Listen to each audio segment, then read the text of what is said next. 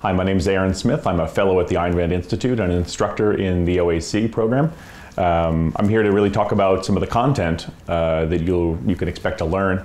Um, the content varies from year to year, but no matter what iteration of the program you're going to get, you're going to get something of a deep dive into objectivism as a philosophic system, but in a way in which you haven't experienced it before.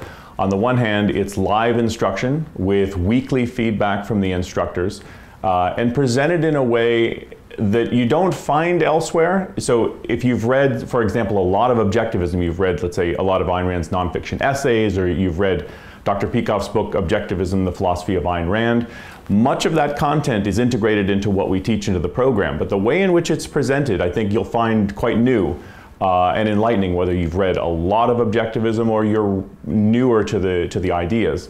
Uh, so I think it's a particularly important program. And frankly, as an instructor, every year I teach the program, I learn something new about objectivism and the way to think about it and the way to frame it in my own mind.